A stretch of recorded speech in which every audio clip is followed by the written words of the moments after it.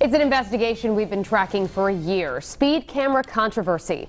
Last night, we revealed Providence handed out more than 63,000 tickets in 2018 from school zone cameras. And new tonight, Pawtucket's plan for similar cameras. As Target 12 consumer investigator Susan Campbell found out, city officials hope the cameras will be online sometime this school year.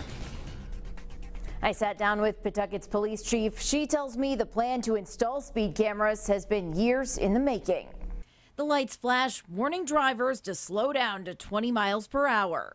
How big of a problem is speeding in school zones in the city? Depending on where, it actually is quite a large um, issue that we have. And unfortunately, just how busy the department is and the city is, that sometimes it's, I don't want to say impossible, but sometimes it, it's um, difficult to get officers out there at specific times. So Pawtucket's getting speed cameras. The city hasn't decided how many will be installed or where they'll be. So we are looking at different areas. We're expecting that they will be within a quarter of a mile of um, some of the major thoroughways where the schools are. Pawtucket announced its plans for speed cameras in December and said they would likely be online by February. What caused the delay?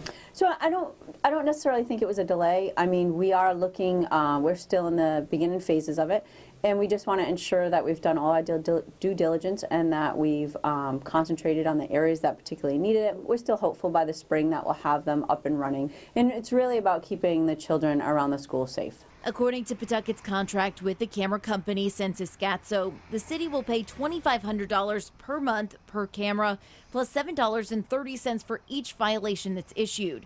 Per state law, there will be a 30 day warning period, and then fines will be capped at $50.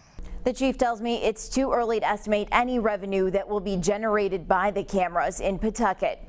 As we reported last night, Providence collected about $3.2 million from speed camera violations in 2018. With the Target 12 investigator Susan Campbell, Eyewitness News.